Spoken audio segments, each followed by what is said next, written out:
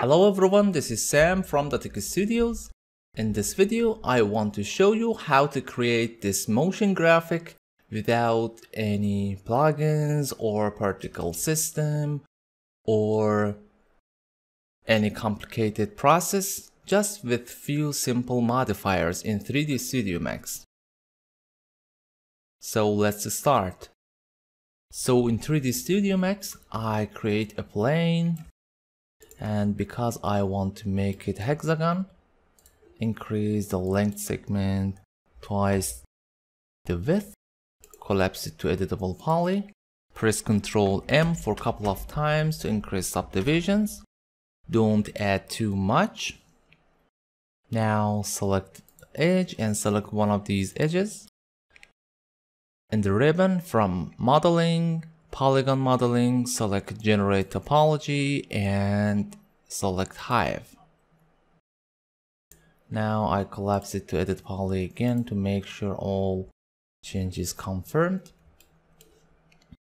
As you know, all these faces attached together to break them all. In the selection rollout, I select vertex, press Ctrl A to select all vertices and select break. Now we have separated geometry surface. Alright, now I apply edit poly modifier. And also we need volume select based on vertex. And of course we need some geometry for define that. And in the selection method you could set replace or add but we don't need to change. And in the volume select mesh object and select this mesh object. In soft selection enable soft selection and set your desirable value. Alright we cannot apply some modifiers like edit poly or edit mesh directly with value of volume select. So we need to use morpher so I add morpher modifier. All right, I go to edit poly, polygon, select all by control A and something like outline. Hold on the alt key to decrease the value. Okay. Go to morpher and select capture current state. 0 1 state okay. Go to edit poly again. And set correct value. Okay. Morpher. Slot 2 and capture state 0 2 all right. Now if I go for example first state and add the value to 100% as you see now start shrinkage and it is something opposite of my demo. Maybe you like that but if you don't select volume and invert. Now we could do that exactly opposite.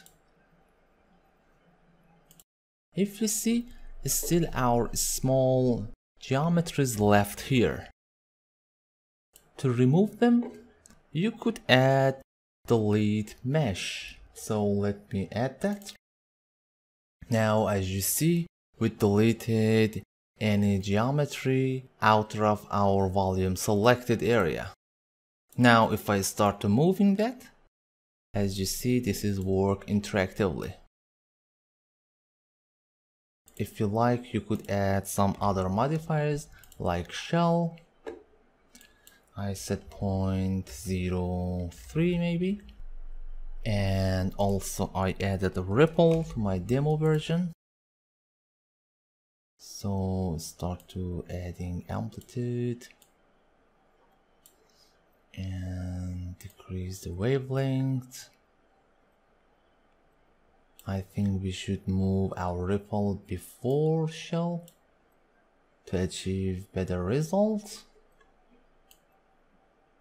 all right also if you need animation you could select your plane geometry select ripple and I enable auto key animation. Go to the final frame and increase phase. For example something like 7 or 8 now if I start to move my sphere now we have something like that. Also I could enable animation recording. So enable auto key and set key. For example go to frame 10 I'm moving here. Set key. I'm going here. Frame sorry undo. First go to frame 20 and move here. Set key. Frame 30 I will scale it.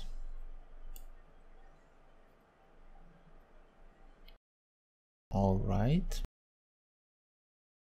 the reason why I'm select set key because I have more transformation than scale. For example if in frame 40 I start to rotate rotation will start from frame 20 not from 30 so make sure after your transforming changes select set keys. Number 40 I start to rotating. Any angle you like. All right Because these modifiers using old system codings and sadly even using usually single core, they are not so optimized. And as you see you will face with some issues bugs like that. And you could move for example manually up and restore but it is so buggy and won't work properly anywhere. As I mentioned before now my application gave a error Sorry, my 3ds Max crashed because as I mentioned before, these modifiers code is very old and usually they don't support multi-core and they are not optimized. So I removed this noise modifier. To avoid some issues on display and even on render, I personally prefer to select Morpher and applying noise modifier without any set value to strength or seed or so. Just go to first frame enable auto key. I set the phase to zero and frequency change something with animate noise. Go to last frame and you could set 100 or even more doesn't matter doesn't matter because we just trying to fix that bug and display calculation. Now you could simply render these results.